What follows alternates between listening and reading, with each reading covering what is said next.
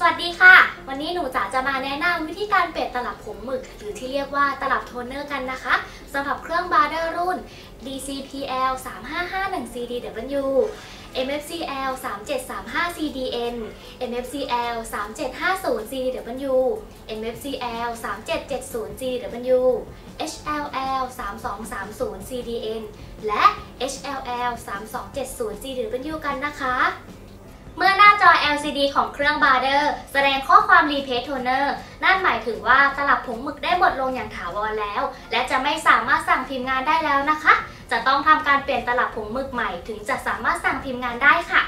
และเพื่อคุณภาพงานพิมพ์ที่สวยงาม และเป็นการรักษาสิทธิประโยชน์การรับประกันของตัวเครื่อง หนูจะแนะนำให้ใช้ตลับผงหมึกแท้ของ Brother กันนะคะสำหรับเครื่องรุ่นนี้จะประกอบไปด้วยตลับผงหมึกทั้งหมด 4 สี และตลับผงหมึกแต่ละสีอาจจะหมดไม่พร้อมกัน หนูจะมีวิธีการตรวจสอบง่ายๆนะคะ ว่าจะทำการเปลี่ยนตลับผงหมึกสีใด โดยให้สังเกตที่จอ LCD ค่ะ หากหน้าจอ LCD แสดงข้อความ Replace Toner Open the top cover Replace Toner Cartridge Back นั่นหมายถึงตลับผงหมึกสีดำหมดนะคะ จะต้องทำการเปลี่ยนตลับผงหมึกสีดำใหม่ค่ะ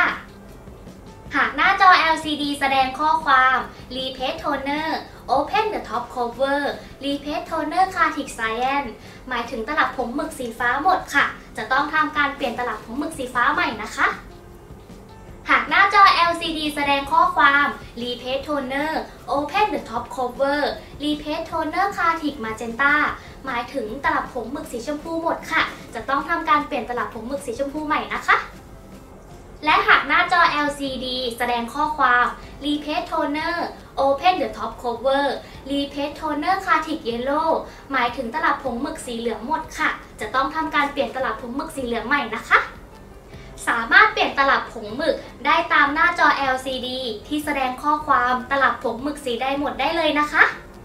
สำหรับคลิปนี้ เนื่องจากหน้าจอ LCD แสดงข้อความตลับผงหมึกหมดทั้ง 4 สีพอดีเลยค่ะ หนูจ๋าเลยขอแนะนำวิธีการเปลี่ยนตลับผงหมึกทั้ง 4 สีเลยนะคะ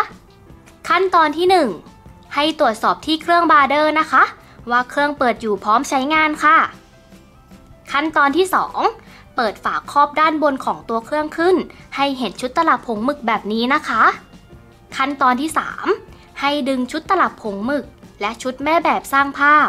ออกมาจากเครื่องบาร์เดอร์ จากนั้นแยกตลับผงหมึกออกจากชุดแม่แบบสร้างภาพ โดยการปลดล็อกคันโยกสีเขียวลง แล้วดึงตลับผงหมึกออกจากชุดแม่แบบสร้างภาพได้เลยค่ะนำตลับผงหมึกใหม่ออกจากกล่อง แล้วถอดฝาครอบป้องกันชุดตลับผงหมึกออก จากนั้นใส่ชุดตลับผงหมึกเข้าไปที่ชุดแม่แบบสร้างภาพให้แน่น จนกระทั่งได้ยินเสียงล็อกเข้าที่ จากนั้น พลาดไม่ได้เลยนะคะ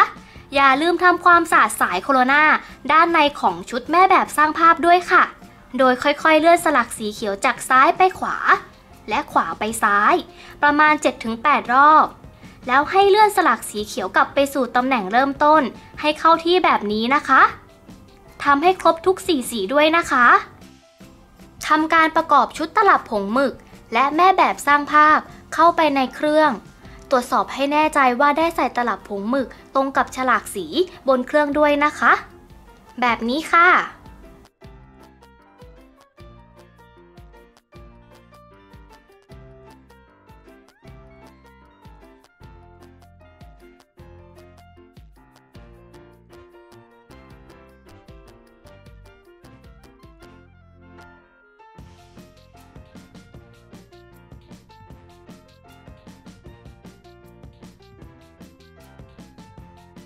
ปิดฝาครอบด้านบนของเครื่อง Brother ลง